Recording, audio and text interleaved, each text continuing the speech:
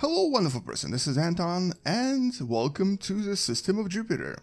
We're going to start here as a kind of an investigation of, well, really looking for patterns. Today we're actually going to be taking a look at if there is any pattern between various masses of various objects, specifically moons and planets, and also planets and stars. And we're going to see if we can actually discover any kind of a pattern that might be there and then use it to estimate or predict values in other star systems. Let's see what uh, we can get from this video and welcome to Da Math.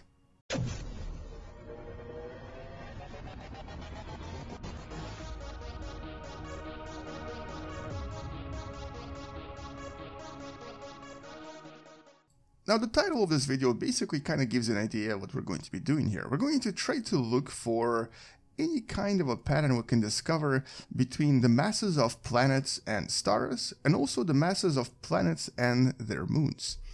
Now it's going to be a slightly uh, difficult task, mostly because we just don't have an, a big enough sample in our own solar system to try to come to a very definitive conclusion. But as you'll quickly see, there's actually uh, some patterns we can establish almost right away. This actually kind of came to me as an idea from a study I was reading very recently, where they discovered that uh, there's actually quite a, a, very, very well-established pattern of the proportion, um, if you were to look inside our Earth, for example, uh, you can actually find a, a mass proportion of, for example, magnesium to silicon or uh, iron to silicon. So if you actually look at all of the iron in our planet and divide it by all of the silicon, you'll discover that it's actually pretty much the same as the amount of um, iron to silicon or magnesium to silicon inside our star and also inside Jupiter and other planets which is uh, very, very interesting and very unusual. But this was established uh, maybe a few years ago, back in 2016, by a study that looked at um, some of the more well known stars and also their planets and uh, trying to estimate this particular um, ratio.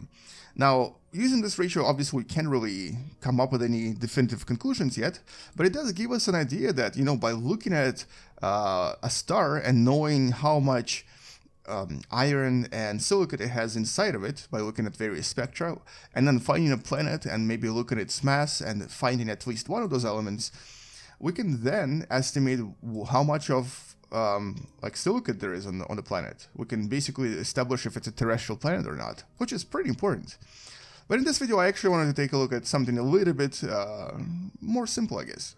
Let's let's go to Saturn for a second, and specifically this right here, Saturn and its moons. And here, if you actually take a look at uh, the actual object with its moons, you'll see that obviously it kind of looks like a miniature solar system. And that's, many people have obviously questioned this before, and that, that's very interesting because here, if you actually take a total mass of all of the moons of Saturn and divide it by the total uh, mass of Saturn, you'll actually start getting a very interesting ratio that I noticed uh, exists in other, um, or around other objects as well. So, um, Saturn has Titan, which is a bit of an oddball because it's a little bit more massive than it should be compared to um, other moons, I guess. Uh, but we're, going to use the total mass of these objects to try to see what we can get here. So the total mass of all of the moons of Saturn is approximately 1.84 moons um, of our own, own moon. And the total mass of Saturn in moons is approximately 7,733. If you were to actually divide these two, you would get approximately 4,200. So in other words, uh, the ratio between the total moons of Saturn and Saturn itself is approximately 4,200. All right, well, that's a good start. Let's uh, let's go explore another system. Let's go to, for example, uh, Jupiter and do the same thing. So we're going to combine all of its moons and specifically here we really just need to combine these four because they're mo the most massive, and divided by the total mass of Jupiter. So here we have the approximate total mass of all of the moons of Jupiter is about 5.4 masses of moons, and uh, Jupiter itself in in moon uh, ratios or moon masses is about uh, 25,828, which gives us a value of about 4,824. So that's uh, relatively close to Saturn, as a matter of fact. So Saturn was about uh, 4200. This is about uh, 4800, which is very interesting. If we go to some of the ice giants here, and here we're going to go to Neptune, and even though we know uh, almost for a fact that Triton came from outside of Neptune system, um, it is nevertheless an interesting sort of um, analysis here. So let's actually do the same with Triton. So we're going to basically uh, take the mass of Triton, which for some reason is inside the planet right now, but basically the mass of Triton in moon sizes is about 0.29, and here the mass of Neptune itself is about uh, 1394 which uh, gives us the value of about 4,790, which is once again close to about 4,800. And even though Triton seems to be an outsider, we think that uh, Neptune did have other moons around it before that were actually kind of kicked out by Triton. So maybe just maybe the mass was actually relatively similar. And the leftover moons are all a little bit small to consider. Uh, so this is, this is pretty interesting so far. So it seems like the mass of moons two ice giants and gas giants is approximately well, or around 4200 to about 4800. The only difference is that this doesn't seem to apply to Uranus. And Uranus being the oddball here, uh, first of all, obviously orbiting completely on the side, and also very likely uh, having received a collision that uh, may have actually stripped it of its moons uh, early on. Uh, here, what we'll get is going to be a little bit different the value is going to be closer to about 15,000, uh, which is basically about uh, four times higher than what we got on other planets. Now, this can mean several things. One of those things is that, well, maybe just maybe uh, Uranus actually did have bigger moons, but they kind of uh, disappeared or got um, kicked out of the system, or have completely uh, been uh, eliminated by Uranus itself. They basically just fell into Uranus. Uh, it's also possible that because of uh, the way that Uranus rotates, uh, something serious may have happened and basically dislodged those moons early on. But also, it's possible that uh, this pattern just doesn't work for some other planets.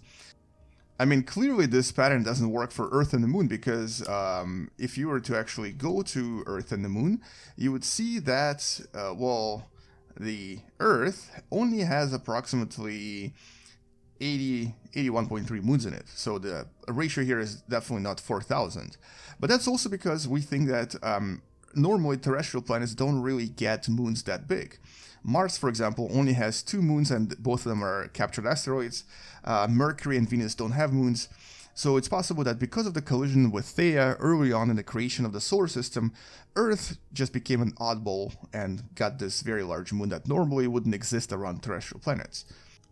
Now, does this pattern actually exist anywhere else? Well, I actually started looking around at some other objects, and, uh, well, just for fun, decided to take a look at uh, the infamous TRAPPIST-1. I went in here and did the same calculation with TRAPPIST-1, because this is a system where we have been studying uh, planets quite carefully, and we discovered uh, their mass more or less correctly. We also discovered the mass of the star more or less correctly. And if you actually add up uh, the masses of all of the planets here, you'll get a number that's approximately 4,693. So once again, very, very close to 4,700, which is very, very unusual, but also very interesting. It's, just, um, it's very, very similar to the ratio we got um, around Saturn and around um, Neptune. So is this something that we should be actually looking at? Because what if actually this is a kind of an average for most of the um, objects out there, most of the moons and planets, and possibly even some of the uh, red dwarfs and their planets.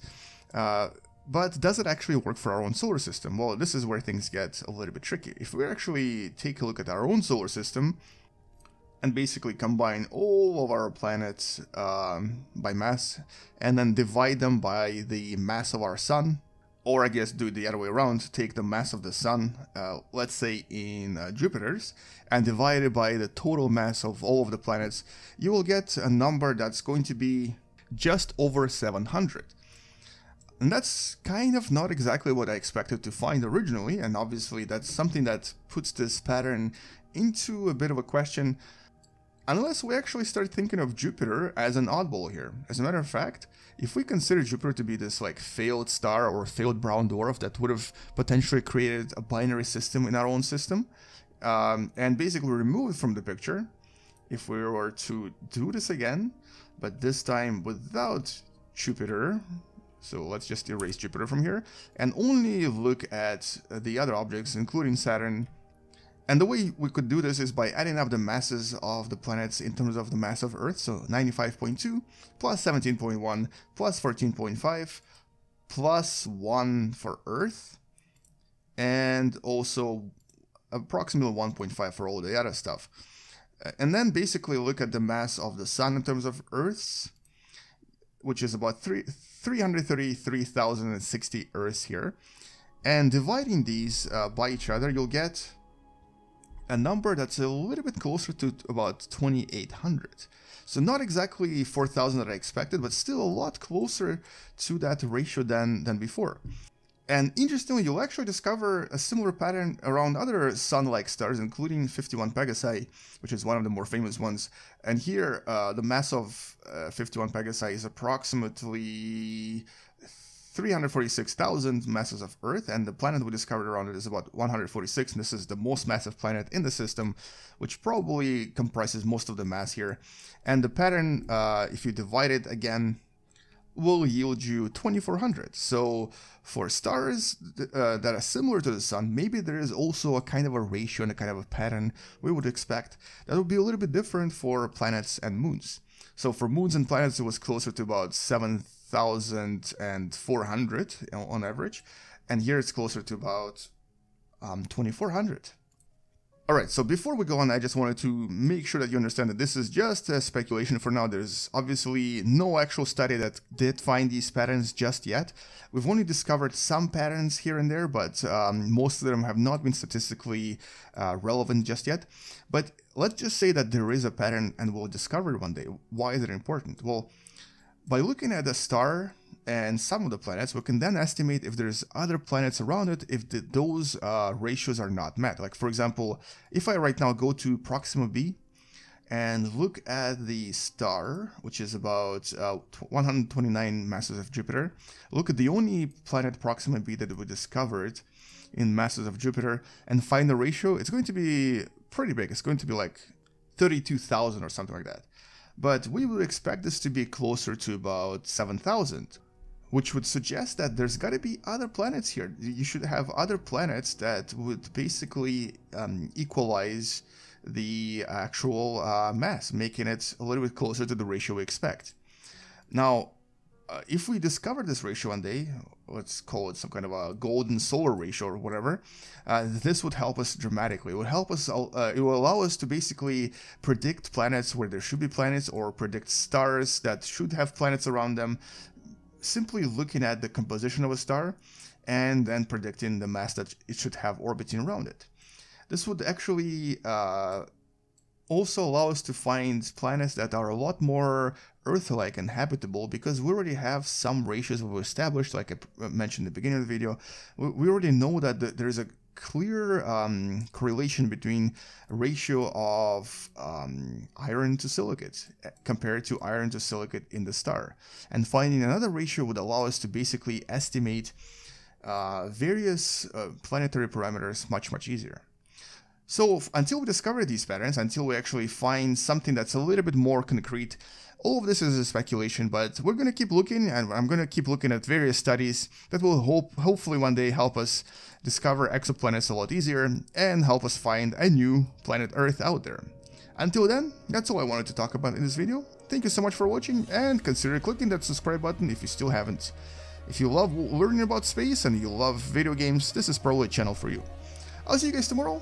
Thank you so much for watching, space out, and as always, bye bye.